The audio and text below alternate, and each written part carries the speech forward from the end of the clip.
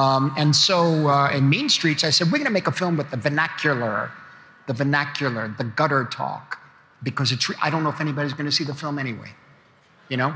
And so we put it together, and my mother and father are there the opening night at Mean Streets at New York Film Festival. And they're sitting there, and the curtain goes up, and I, we suddenly realized, oh my God, people are going to see this. you know, the other short films and things like that, yeah, yeah, but no, this is the feature. People are going to see this damn thing. And after it was over, it was, a, it was quite, a, quite a reaction, a good reaction.